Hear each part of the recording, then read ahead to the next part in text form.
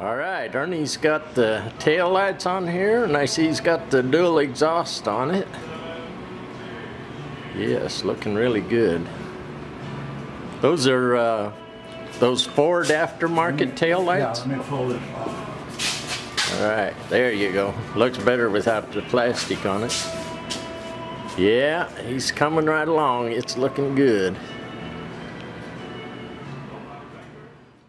He found this uh, hood ornament for it, and he's not sure what it's off of.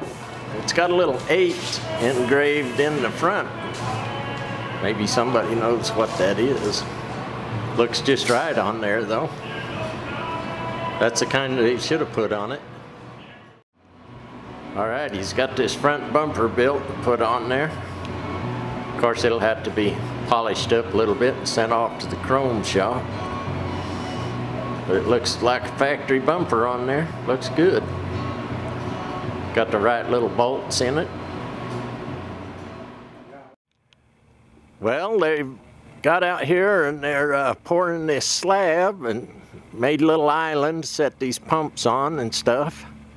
They're going to put an awning on it, and uh, what they're actually building here is a place to where you can park your car there in an old-fashioned looking place and take a picture of it, which is a lot of fun.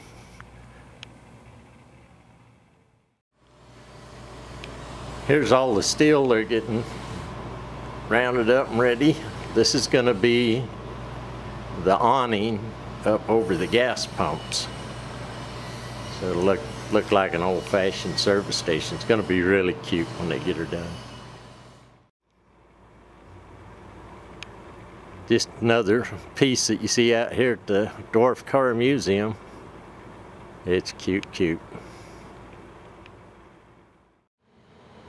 Please like and subscribe and I will disappear.